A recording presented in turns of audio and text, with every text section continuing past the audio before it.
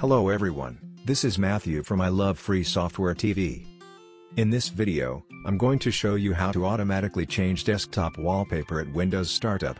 That means whenever you will launch Windows and access desktop, a different wallpaper will be visible to you. For this, you need to download a free software named Wallpaper Slideshow LT. You can find the download link of this software in the video description. Install the software, and open its interface.